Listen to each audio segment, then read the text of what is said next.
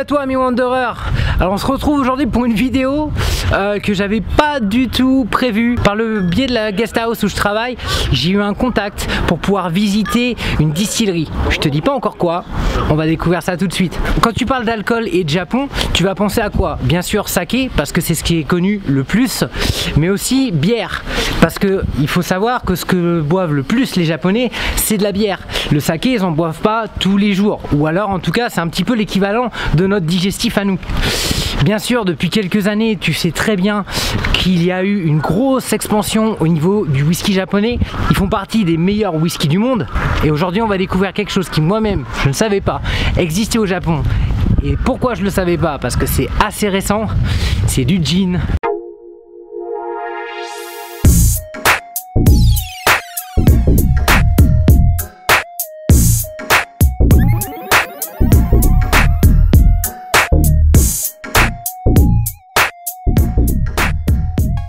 Ok, du coup, je me trouve dans la distillerie de gin. Vous pouvez voir l'alambic juste derrière moi.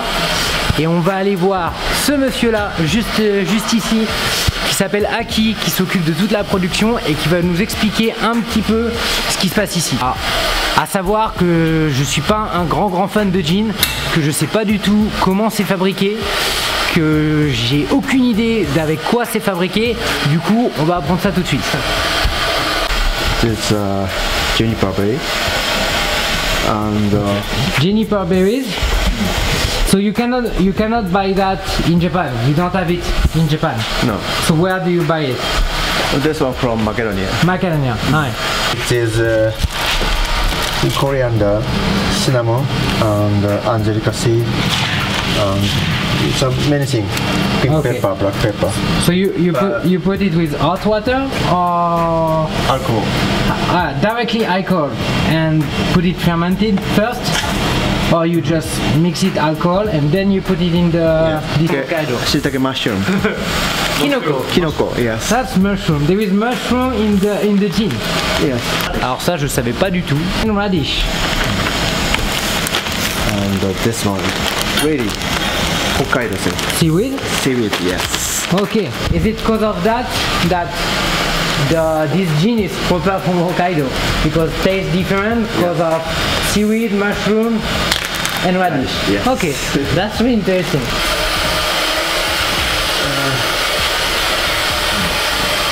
That alcohol here, Okay. and uh, then heat up, Boiling. boiling, yes. Okay. The distiller is from Italy. Okay. So what are what are all of those pipes after it's going Let's go into all through? and then this one is for cool down. Here is uh, also juniper berry. Okay. Okay. Everything is joined in there. Yes. Ok. Then it cool down just here. Yes. En soi, c'est une distillation assez classique. Je m'y connais pas énormément, mais bon, euh, ils font bouillir pour pouvoir faire monter l'alcool via le sucre et la fermentation. Après, tous les arômes sont rajoutés.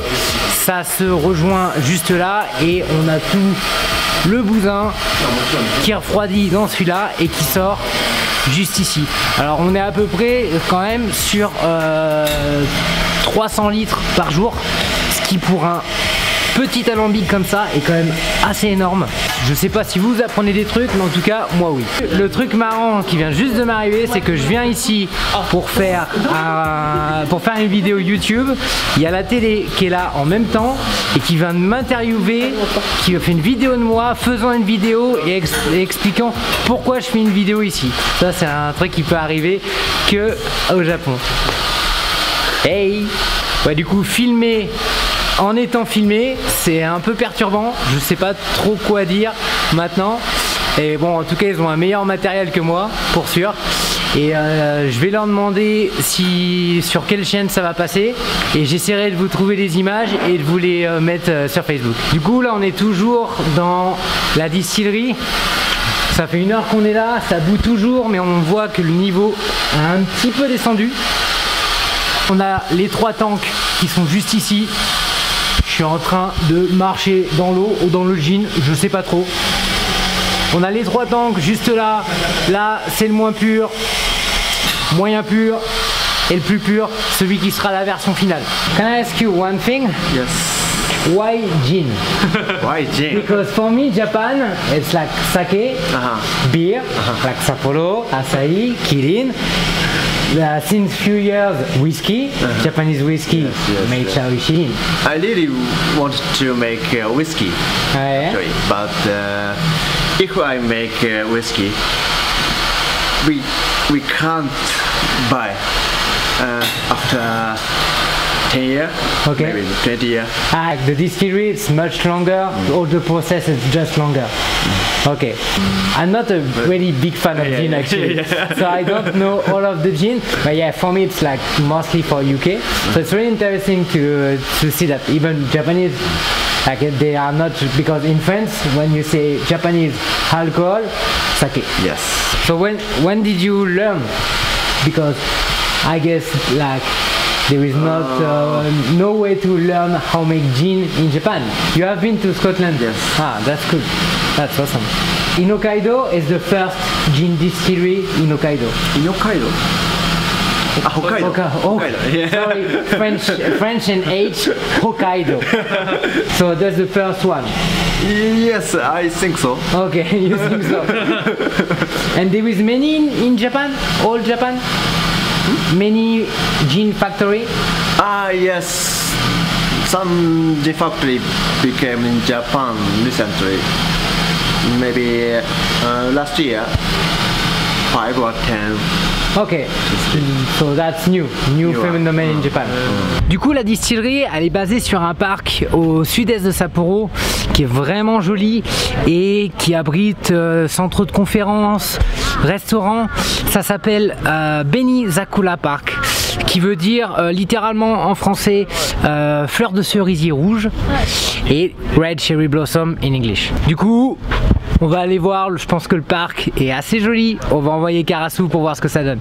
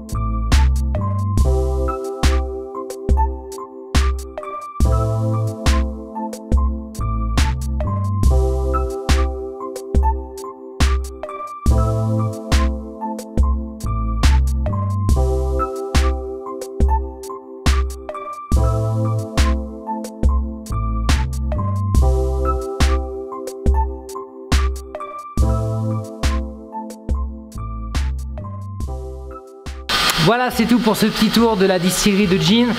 J'espère que vous aurez appris des choses. Moi, j'en ai appris. Euh, je me suis fait filmer par la télé. Elle est encore là. Alors, si t'as aimé cette vidéo, moi, ça a été une expérience assez rigolote, très intéressante. Si t'as aimé cette vidéo, thumbs up, pouce bleu, comme d'habitude. Tu peux t'abonner à la chaîne. Tu peux partager tous mes réseaux sociaux, tous les réseaux sociaux. Partage la vidéo un max. Abonne-toi. Matane.